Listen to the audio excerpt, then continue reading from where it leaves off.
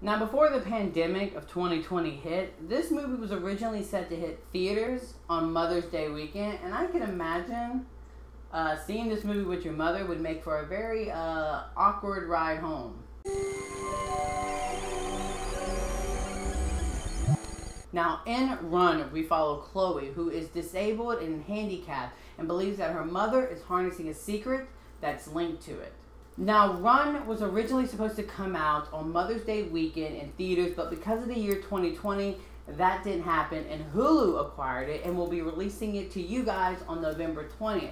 But because I'm attending the Nightstream Film Festival virtually this year, I got to watch this movie at its world premiere. And shout out to Nightstream for getting a Sarah Paulson thriller as their opening film from the director of Searching. I really enjoyed this movie, and mainly just because of just how much of an old-fashioned Hitchcockian nail-biting thriller that this movie is. It's 90 minutes, you're in, you're out, and you're glued the whole time. It doesn't overstay its welcome, and it's just a very nicely driven thriller that's anchored by some fantastic performances. Our two leads are fantastic in the role.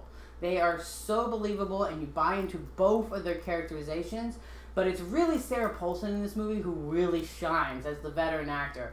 She gets to get into her sort of Kathy Bates misery type of level of acting, in the which that you know and she gets to tap into that really really well. You know she's lovable and sweet to the point that you you you, you feel for her. But also when she snaps and goes completely unhinged the mannerisms that she taps into are super fascinating to watch unfold. Also from the director of searching he does a fantastic job of knowing when to drop twists at you and when to hold back and i love the pacing of this movie in fact the whole production of this movie is fantastic I will admit though, the ending gets a bit campy, and I loved it. I love the sort of campy ending, but I do admit that the rest of the movie prior to it, um, it's a bit more tense and realistic. That some people might not like the way that this movie ends. I loved it. I thought it was fantastic, and I really enjoyed the ending. But just gonna give you a forewarning that you might find the ending just a little too too much.